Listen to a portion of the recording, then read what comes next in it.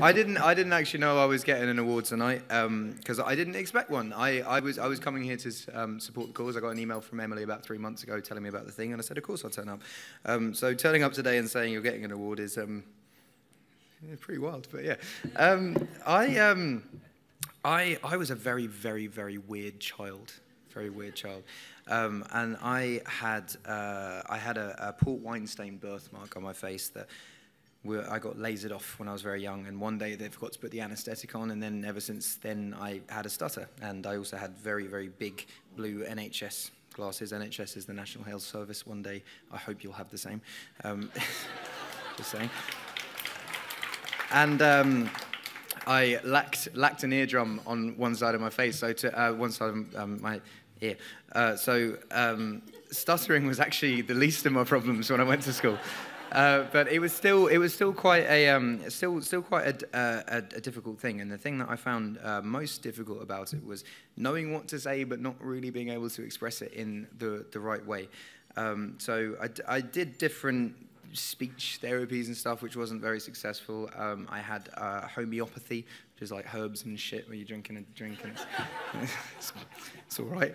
Um, but uh, I got I got heavily into music. Um, at a young age and got very, very into rap music. Um, uh, Eminem was the first first album that my dad bought me. I remember my uh, uncle Jim um, told my dad that Eminem was the next Bob Dylan when I was. Uh, uh say what you want. It's pretty, pretty, pretty similar, but um, it's all just all, all storytelling. So my dad bought me uh, the Marshall Mathers LP when I was nine years old, not knowing what was on it, um, and let me listen to it. And I learned every word of it back to front by the age I was 10, and he raps very fast and very melodically and very percussively, and um, it helped me get rid of the stutter. And then from there, I just kind of carried on, did some music, and now I'm here.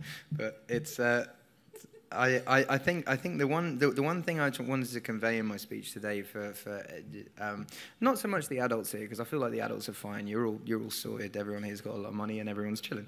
But more the, um, more the kids that are that, that I hear that are going through the therapy, and I, I, I want to stress the point that it's not stuttering is not is not a thing you have to be worried about at all. And even if you have quirks and weirdness, you shouldn't be worried about that. I think the mo- the people that I went to school with that were, were the most normal and were the coolest when we grew up. Like I was telling Emily earlier that uh, one of the cool kids from school now does my plumbing. So that's that's a fact.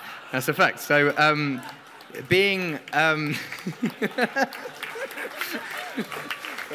uh, uh, my my thing that I wanted to stress most tonight is not is not is not necessarily to to shed light on stuttering or make it or make it a, a thing. Is just um, um, stress to kids in in, in, in general is to just be yourself because there's no one in the world that can be a better you than you. And if you try to be the cool kid from class, you'll end up being very boring and doing plumbing for someone that you don't really want to do plumbing for. Um, and uh, yeah, it's just be, your, be yourself, embrace your quirks. Being, being weird is a, is, is, is, is, is a wonderful thing. And uh, it has led for so many creative people, and not even just creative people. Like you, you own a fucking football team now. That's pretty cool.